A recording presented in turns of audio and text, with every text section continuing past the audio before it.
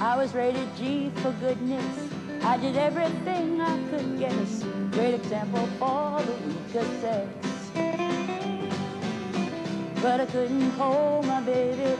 He sure didn't want a lady. He left me for someone rated X.